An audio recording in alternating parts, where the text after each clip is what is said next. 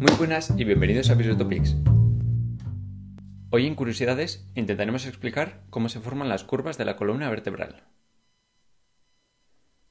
Como sabrás, una de las cosas que nos diferencia de otros animales cuadrúpedos es la capacidad que tenemos para la bipedestación y para caminar sobre las dos extremidades inferiores.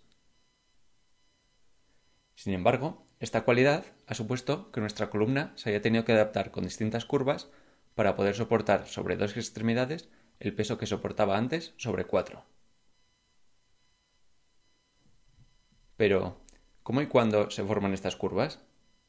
Hasta hace unos años se creía que la columna del feto era una única curva en forma de C o cifosis.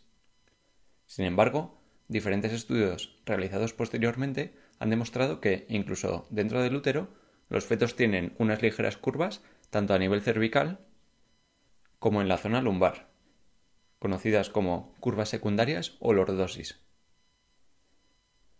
A pesar de todo, estas curvas son apenas perceptibles al nacer, y hay consenso al decir que se acentúan notablemente durante el desarrollo del bebé, debido a las diferentes fuerzas musculares. La curva cervical se empieza a acentuar en los primeros meses, cuando el lactante empieza a levantar la cabeza y ser capaz de sostenerla, en torno a los 3-4 meses, y se sigue desarrollando cuando el bebé empieza a poder mantenerse sentado.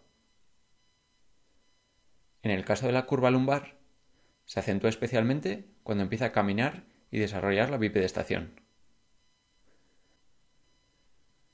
Primero, la musculatura glútea permite que la pelvis se ponga vertical, y posteriormente los músculos erectores de la columna acentúan la curva, que se sigue desarrollando hasta el final del crecimiento del niño. Nos vemos en el próximo vídeo. Hasta pronto.